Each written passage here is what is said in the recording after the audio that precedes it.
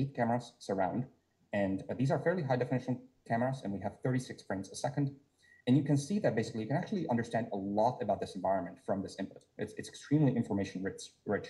You're getting a huge amount of constraints, 8 million bits roughly of constraints per second on the state of the surroundings. And so it's incredibly information rich compared to any other sensor you may want to have in a car. And so this is the one that we're doubling down on because this is ultimately where all the difficult um, sort of scene interpretation challenges you do it properly. So here's what it took. Um, so the first component that you need is an incredibly good data set.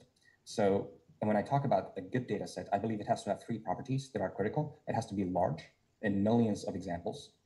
It needs to be clean. So in this case, we have to have a very clean uh, source of depth, velocity, and acceleration for all these cars.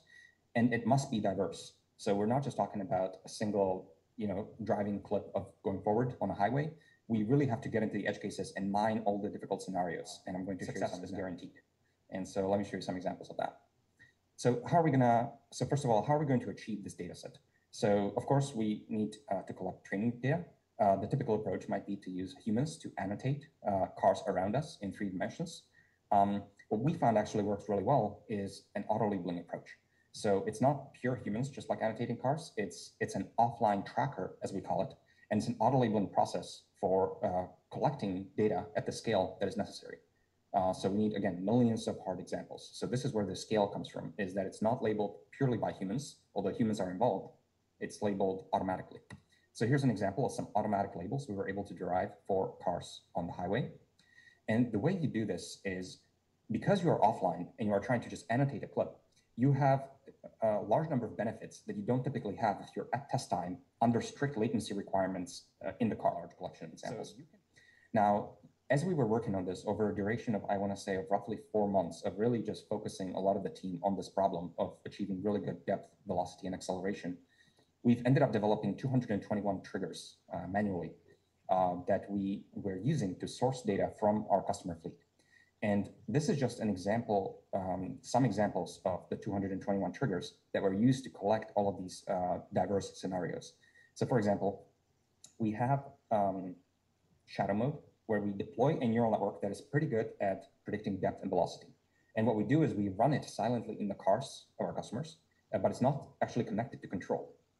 What's driving is the legacy stack.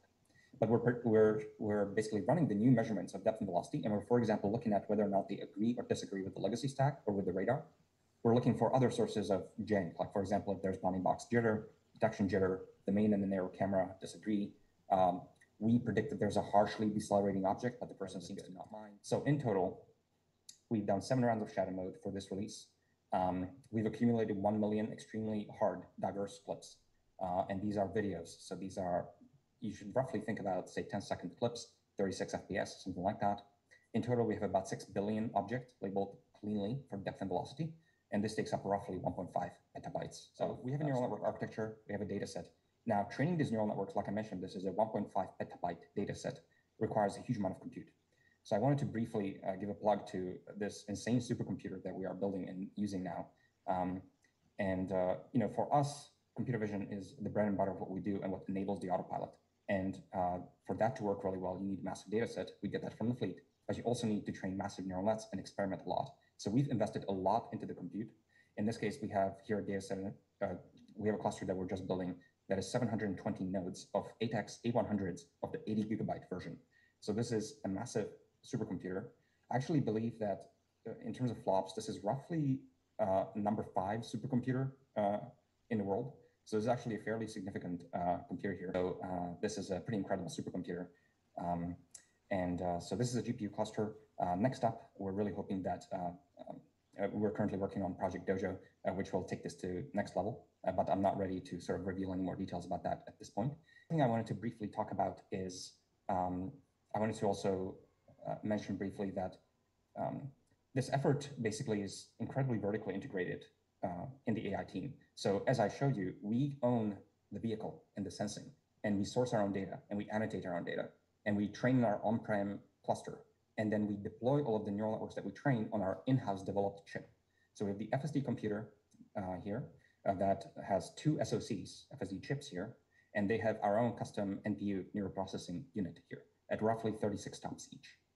And uh, so these chips are specifically designed for the neural networks that we want to run for FSD applications. And so everything is very vertically integrated in the team. And I think that's pretty incredible because um, you get to really uh, co-design and engineer at all the layers of that stack. And uh, there's no third party that is holding you back. You're fully in charge of your own destiny, which I think is incredibly unique and very exciting.